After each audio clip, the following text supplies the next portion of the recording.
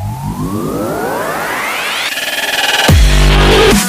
Two Amazon customers accidentally bought items with shipping that cost thousands of dollars. Business Insider reports Lori Galloway bought 100 paper plates listed for $24 without realizing that shipping would cost her $1,080. Barbara Carroll, on the other hand, was charged $7,455 on shipping for an order of toilet paper that cost around $88. According to Business Insider, both customers got in touch with Amazon and had their shipping charges refunded. The third party sellers broke broke Amazon's policy that clearly states sellers cannot set excessive order fulfillment or shipping costs. Business Insider recommends paying close attention to the last screen of the order process while checking out on Amazon. That way, other customers don't make the same mistake.